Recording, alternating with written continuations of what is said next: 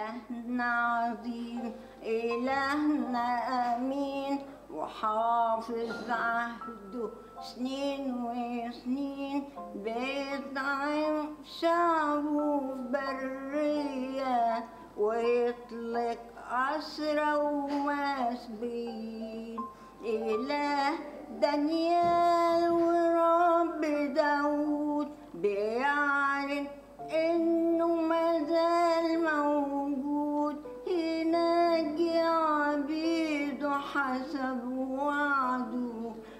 سيف جليات وجوب أسود يا إلهنا الصالح مهما بنشكر مش هنوافي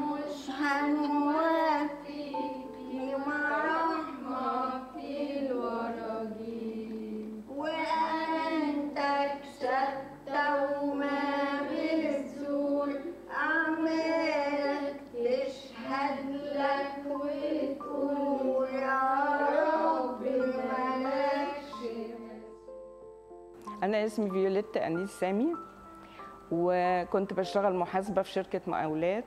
من نعمة ربنا بقى إن هو راح موجهني على الكنيسة على طول. يعني أنا سبت الشغل واتجهت للكنيسة على طول لأن كان جوزي كمان متوفي وعندي ولدين. فنزلت الكنيسة على طول بقى خدمة واجتماعات. المهم إن ربنا برضو يعني فعلا ربنا ما بيرشد حد بيبتدي معاه من, من الأول. اختاروني إن أخدم خدمة بيت مسنين. فرحت خدمة بيت مسنين وهي دي يعني النعمة أو البركة اللي أنا خدتها في حياتي فعلا. آه، كان في مسنة ربنا يصبحها بالخير كانت دكتورة صيدلانية. فكانت الدكتورة دي كل ما تشوفني تقول لي ما تيجي تقعدي معانا بقى مدام فيولا انت مش جوزتي ولادك؟ تعالي اقعدي معانا. أقول لها لا لا بدري شوية أنا بربي العيال دلوقتي الأحفاد. تقول لي طوعيني. وقالت لي جملة عمري ما هنساها. قالت لي خشي بيت المسنين على رجليكي عشان ما تدخليهوش غصب عنك. فالجملة دي ما أقدرش أقول لك عملت إيه في حياتي. أنا رجعت في اليوم ده للعيال كانوا لسه ما اتجوزوش.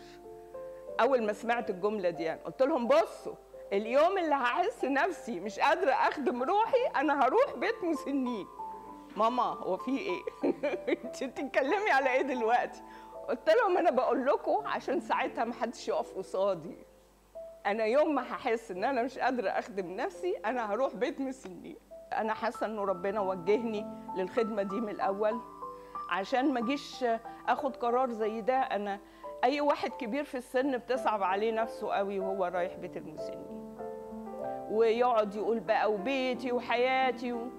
أنا ربنا إداني نعمة كبيرة جدا بشكره عليها ليل ونهار. أنا ما عنديش حاجة غالية يعني ولا بيتي ولا شقتي ولا الكلام ده خالص. حتى ابني لما جه يتجوز قال لي ماما خليكي في الأوضة بتاعتك. قلت له لا الأوضة بتاعتي دي أوسع أوضة في الشقة دي هتحط فيها أوضتك أنت وعروستك. وقلت لهم يوم ما سكنوا معايا ده بيتك مش بيتي أنا هاخد أوضة بس من البيت.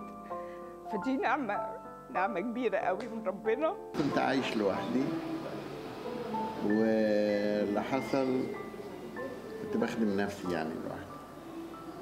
طالع السلم فرجليا إيه؟ أنا في الدور الثالث رجلي اتزحلقت فنزلت السلالم بظهري بدماغي خبطت في الحيطة.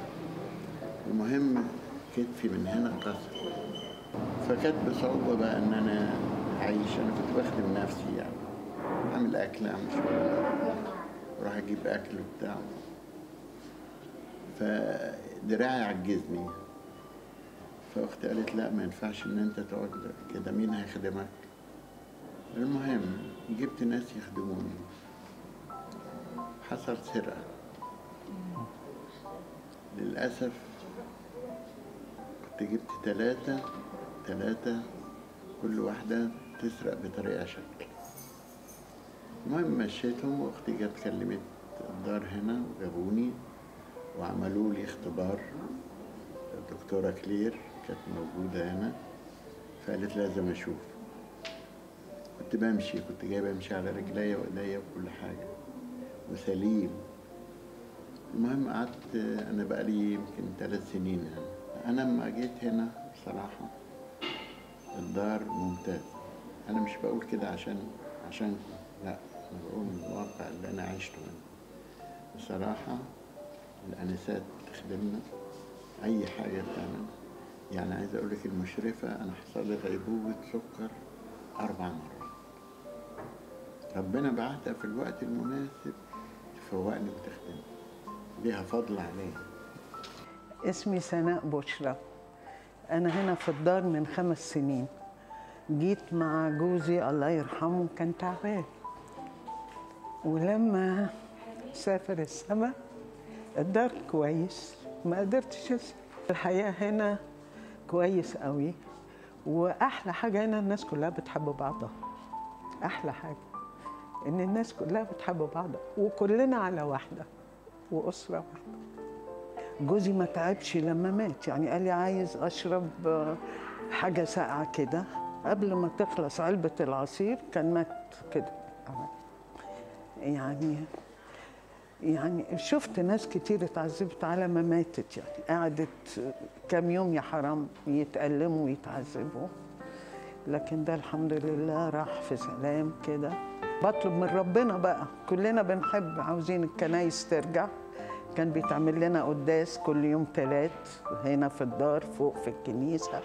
دلوقتي عشان ما فيش الكورونا والأعداد فما أتمنى إن ترجع القداس إن شاء الله حتى مرة كل شهر يعني بس هو ده اللي بتمنى.